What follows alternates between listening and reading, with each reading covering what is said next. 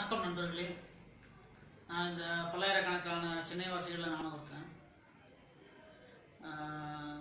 ஒரு நான் பாதிக்கப்பட்ட ஒரு விஷயம் விஷயத்தை உங்ககிட்ட ஷேர் பண்ணலாம் அப்படின்றது தான் இந்த சின்ன வீடியோ ஏன்னா நம்ம கண்டிப்பாக சென்னையில் இருக்கிற எல்லாரும் ஏதோ ஒரு சந்தர்ப்ப சூழ்நிலையில் ஒரு ஒரு சின்ன விஷயத்தில் பாதிக்கப்பட்டிருப்பாங்க. நான் என்ன சொல்ல வரேன்னா நம்ம குறிப்பாக அந்த சென்னை மக்க சென்னை வாசிகள்கிட்ட பேச்சில் ஒரு தாழ்மை இல்லை அப்படின்றது என்னுடைய சின்ன தாழ்மையான கருத்து. தாழ்மைனா எப்படின்னா பேசும் பொழுது கொஞ்சம் ரிக்வஸ்டாக பேசாமல் ஆர்டராக பேசுறது.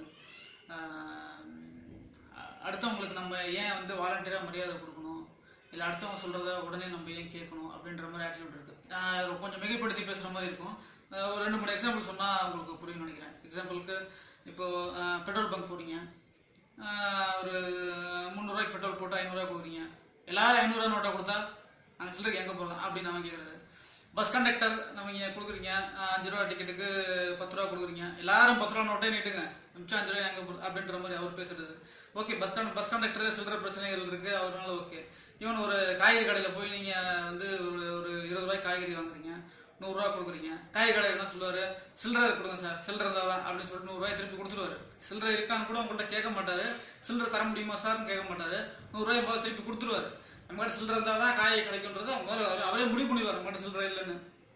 ஸோ இந்த மாதிரியான விஷயங்கள் தான் நான் இப்போ பேசுகிறேன் எக்ஸாம்பிள் என்னன்னா நம்ம சின்ன சின்ன விஷயங்களும் சரி பொது பொதுமக்கள் ரெண்டு இந்த பிரச்சனை எங்க வருதுன்னா ரெண்டு முகம் தெரியாத நபர்கள் பேசி பேசிக்கும் பொழுது ரெண்டு முகம் தெரியாத நபர்கள் அவங்க வந்து தகவல் பரிமாற்றம் நடக்கும் பொழுது அவங்க ஏன் விருப்ப விருப்பம் வந்து மூஞ்சில காமிச்சிக்கிறாங்க அப்படின்றது எனக்கு புரியல. இது முக்கியமா வந்து பெருநகரங்கள்ல தான் இது இருக்கு அப்படின்றது என்னுடைய கருத்து. ஏன்னா நான் இப்போ ஒரு பத்து வருஷமாக தான் இங்கே சென்னையில் இருக்கேன். இதுக்கு முன்னாடி நான் வந்து ஒரு ஒரு சின்ன நகரத்தை சேர்ந்து சேர்ந்து வந்தவன். நான் கிராமங்கள்லையும் போய் சேர்ந்துருக்கேன்.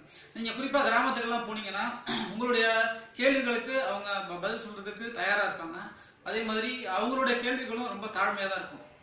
ஒரு உதாரணத்துக்கு சொல்லணும்னா நீங்கள் வண்டியை கொண்டு நிப்பாட்டிருக்கீங்க உங்கள் வண்டிக்கு முன்னாடி இன்னொரு வண்டி இருக்கா? ஒரு வண்டி எடுக்க வரேன்னா கிராமத்தில் எப்படி சொல்லுவாங்க? தம்பி இது கொஞ்சம் வண்டி கொஞ்சம் எடுத்துட்டீங்கன்னா எடுத்துக்குவேன் அப்படின்னு ஒரு ஒரு ஒரு ஒரு தான் கேட்பாங்க. அதே சென்னையில் பார்த்தீங்கன்னா என்ன சொல்றது? பெரும்பான்மையான வாசிகள் வந்து நீங்க மண்டே கொண்டு முன்னாடி போட்டீங்கன்னா நாங்க எப்படி எடுக்கிறது? அப்படின்ற ஒரு ஒரு அவங்க கேட்குற தோரணை வந்து வித்தியாசமா இருக்கும் அப்படின்றது தான் ஆனா இதற்கான காரணம் எனக்கு தெரியல. ஆனா இது வந்து தேவையில்லாதது அப்படின்னு நினைக்கிறேன். எது தேவையில்லாததுன்னா அடுத்தவங்களுக்கு நம்ம மரியாதை கொடுக்காம பேசுறது.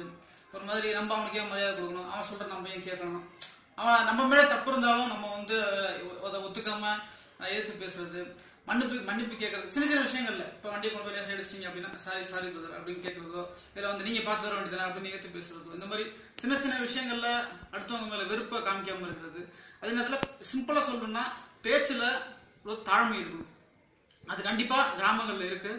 கிராமங்கள்ல எல்லாமே இருக்கு நான் எல்லாம் சொல்ல பட் சாதாரண ஒரு முகம் தெரியாத இரு நபர்கள் பேசிக்கும் பொழுது கிராமத்துல கண்டிப்பா பேச்சுல ஒரு தாழ் தாழ்மை இருக்கும். சிறு நகரங்கள்லயும் கொஞ்சம் தாழ்மைகள் இருக்கு. ஆனா சென்னை மாதிரியான பெருநகரங்களில் அந்த பேச்சில் தாழ்மைன்றது கொஞ்சம் கம்மிதான்றது அஹ், என்னுடைய கருத்து. ஸோ இந்த இந்த வீடியோ எதுக்குன்னா சென்னையை பற்றி குறை சொல்கிறதுக்காக இல்லை. நான் வந்து சென்னையில் பத்து வருஷமாக இருக்கேன். இதுக்கப்புறமும் சென்னையில் தான் இருக்க போகிறேன் ஸோ இந்த வீடியோவை பார்த்துட்டு ஒரு சில பேர் இது தப்புன்றது ஐ மீன் இதை வந்து நம்ம சென்னை வந்து இன்னும் ஒரு ஒரு பெட்டரான பிளேஸாக இருக்கணும் அப்படின்னு நினைக்கிறேன் வாழ்கிறதுக்கு ஸோ இந்த வீடியோ பார்த்து ஒரு சில பேர் புரிஞ்சுக்கிட்டாங்க அப்படின்னா நம்ம தேவையில்லாமல் அடுத்தவங்க மேலே கோவப்படுறது தேவையில்லை.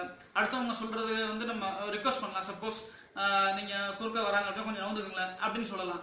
கொஞ்சம் நவுறது வழி விடுங்க வழி விடுங்க அப்படின்னு சொல்றது. அதாவது அது அடுத்தவங்க மேலே ஆதிக்கம் செலுத்தணுன்ற ஒரு தோரணை வேண்டாம் அப்படின்றது என்னுடைய வேண்டுகோள். நன்றி.